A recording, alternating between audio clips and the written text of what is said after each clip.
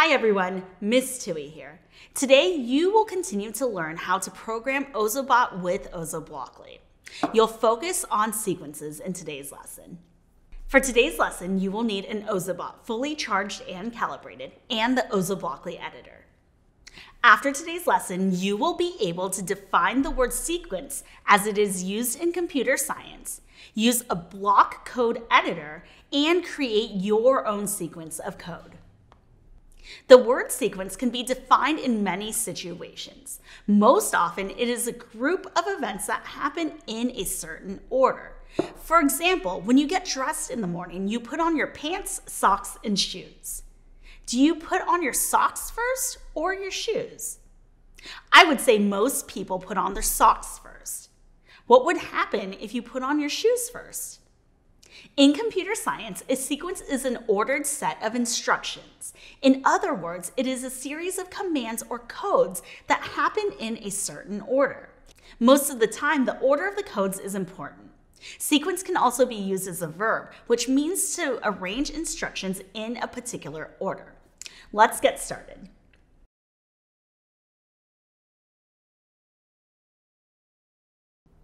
Be sure to have Ozoblockly open. You'll begin in level two. Today, you will focus mostly on movement, light effects, timing, and sound blocks. You'll dive deeper into loops in the next lesson. Click on movement in the left panel. Add one of each type of block to your workspace by clicking on the block or dragging the block to the workspace.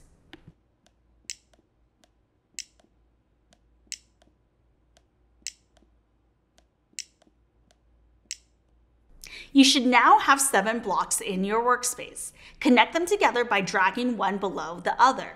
The block you are clicked on or moving will be outlined in white.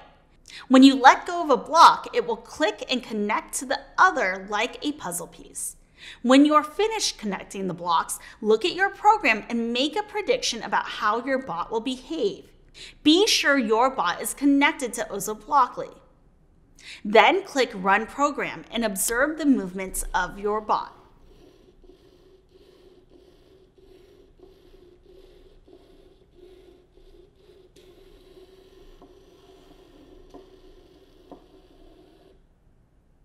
Can you tell when the bot switches from one block of code to the next?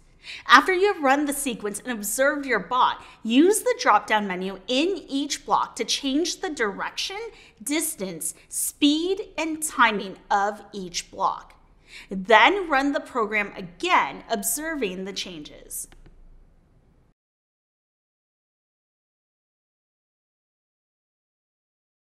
Next, click on the light effects in the left panel. Add one type of each block from the Light Effects panel to your workspace.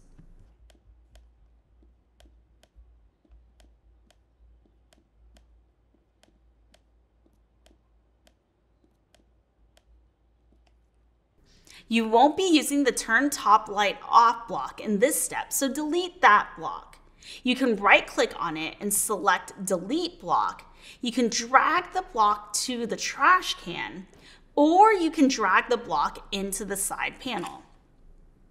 You will insert one light effect block after each movement block by dragging the light effect block between the two connected movement blocks until you see the white outlines. Drop the block and they should click together.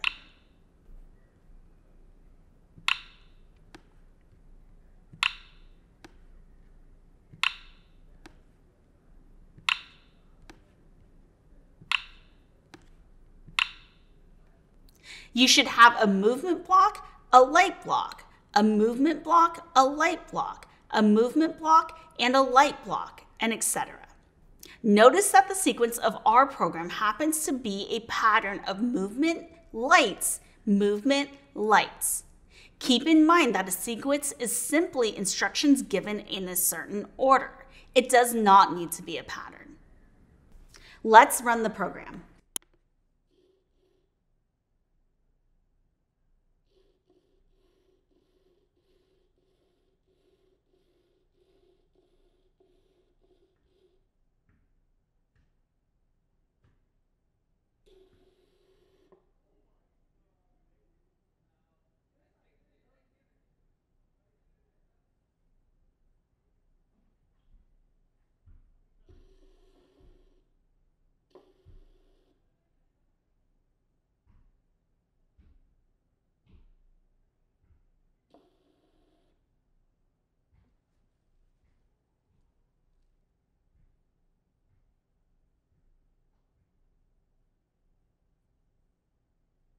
Insert a light effect block after each movement block. Adjust the top light color by clicking on the colored box within the block. Run your program and observe each light effect. What did you notice about the top light color? Did the light effect performed between each movement help you see when one movement stopped and the next movement began?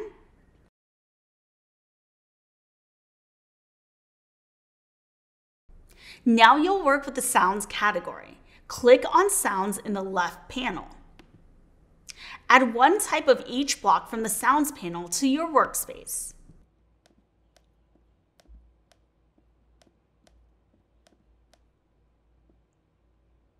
The sequence you are creating contains a pattern of blocks that includes a movement block, a light block, and a sound block. That pattern should repeat seven times. Since there are five sound block options, you will need to duplicate two blocks or duplicate one block two times.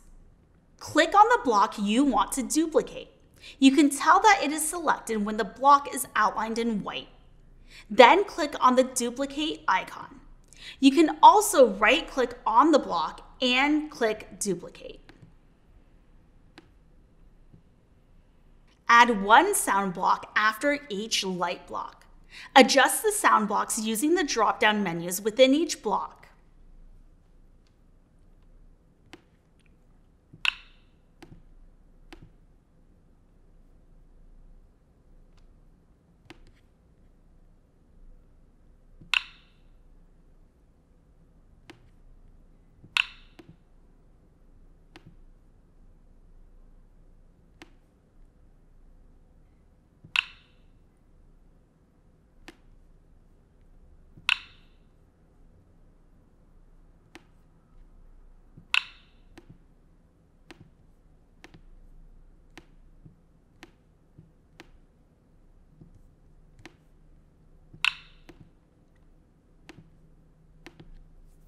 Let's run the program.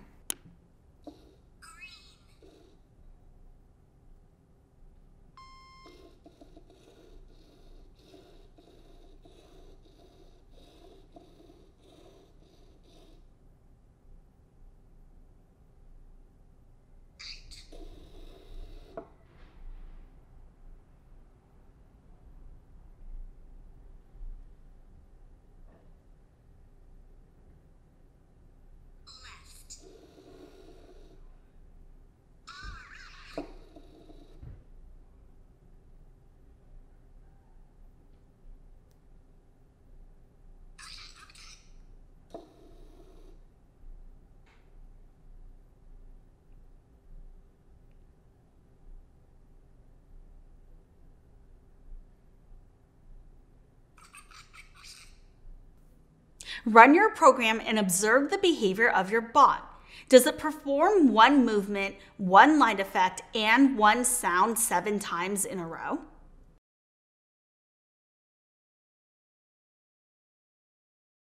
Next, click on the timing category.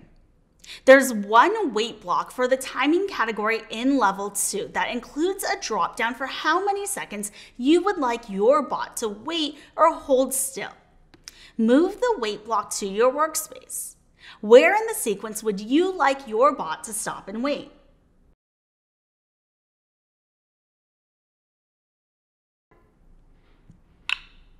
Let's run the program.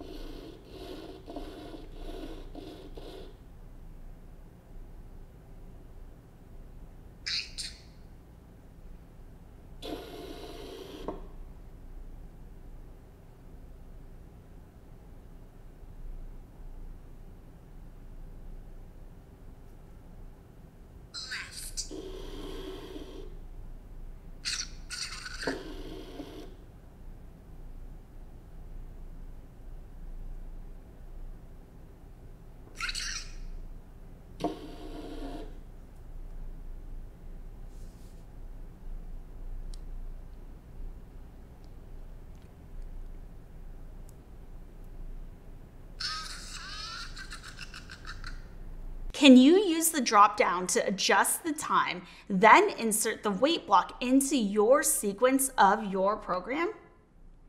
Run your program and observe how the wait block changes the behavior of your bot.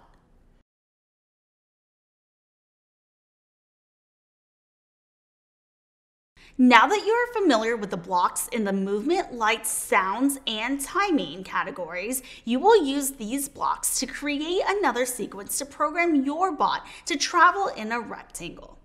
Your bot needs to show a different color light on the top LED for each side of the rectangle, and your bot needs to play a sound at each corner. Use the blocks in level 2 to complete this challenge. Run your bot and make updates to your code as often as needed to check that your sequence of blocks is correct. This is called iterating. Can you run your program and observe the sequence of the behavior of your bot? Iterate your program by making changes to your sequence and testing to get the desired outcome.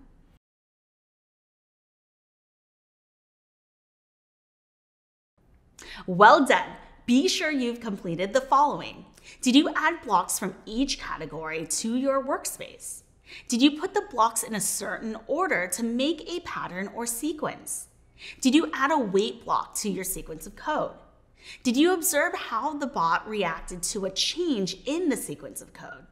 Did you create a sequence that traced a rectangle with lights and sounds in appropriate places? Come back again soon for our next lesson.